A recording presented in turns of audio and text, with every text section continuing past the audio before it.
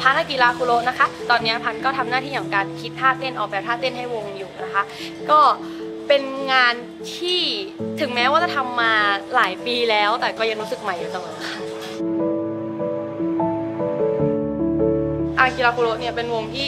กล้าพูดเลยว่ามันเป็นหนึ่งในปาร์ตี้ที่สนุกมากนะคะ รู้สึกเหมือนเราได้เจอเพื่อนนะคะ การกรรมพันธ์เนี่ยแบบมิตรภาพแล้วก็ความเป็นเพื่อนนี่มันสำคัญมากสำคัญแบบ มากๆในชีวิตพันเลย เพราะฉะนั้นเนี่ยการที่แบบเรามาเจอแฟนคลับ หรือว่ามาเจอใครก็ตามไม่ว่าจะเป็นเพื่อนในวงการไอดอลหรืออะไรเงี้ยมันทำให้เรารู้สึกว่าอยู่ตรงนี้มันสนุกอยู่ตรงนี้มันไม่ได้เหนื่อย อยู่ตรงนี้มันไม่ได้กดดันเราเรา ถ้าเรายังอยู่ตรงนี้เรายังได้เจอพวกเขา ก็เลยรู้สึกว่า เอ้ย เรายังอยากอยู่ตรงนี้ เรายังอยากมีครอบครัวอยากมีเพื่อนแบบนี้อยู่อะค่ะถ้าให้พูดกันแบบตรงๆเนี่ย เชื่อว่าคนเราอะค่ะเวลามันไปถึงก้าวก้าวหนึ่งอะมันมักจะฝันยิ่งใหญ่กว่าเดิมอยู่แล้ว